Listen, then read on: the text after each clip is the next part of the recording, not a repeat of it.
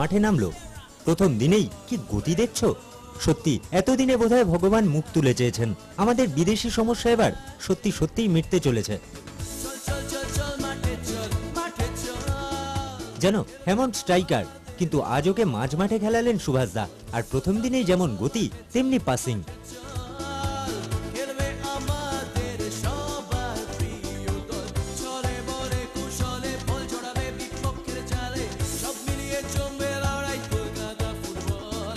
প্রথম দিনেই আমাদের ক্লাবের সঙ্গে বেশ মিশে গেছে ছেলেটা।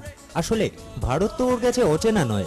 গতবারই মুম্বাই এফসির হয়ে খেলেছে এমন ম্যান অফ দ্য ম্যাচও হয়েছিল। এবার কলকাতাকেও ভালোবেসে ফেলেছে। I like Kupata here. I like the way they support the, the teams here.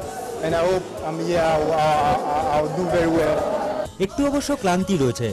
সেটা আর দুই একদিনের মধ্যেই ঠিক হয়ে যাবে। ওকে ভালো লেগেছে মেহতাবদেরও। অবশ্যই আমাদের আহ, একটা ফরেনার চলে এসেছে আর একটা ফরেনার আসছে সম্ভবত কালকে।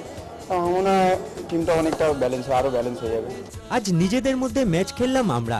ইয়াকুবু সুভাষ সিংরা গোল পেয়েছে। রেনিডি এলভি অবশ্য খেলেনি তবে বড় ম্যাচের আগে এলভি ফিট হয়ে যাবে। চোটটা সবসময় মানে একটু কেয়ারফুল থাকতে হবে বাট মনে হচ্ছে টোয়েন্টি ফিফথ আমি ফিট হয়ে যাবে খেলতে। ক্রমশ ছন্দে ফিরছি আমরা। কালই আবার অস্ট্রেলিয়া আর নাইজেরিয়া থেকে আরও দুজন বিদেশি আসছে। সব মিলিয়ে বড় ম্যাচের আগে আমরা পুরো তৈরি হয়ে যাব।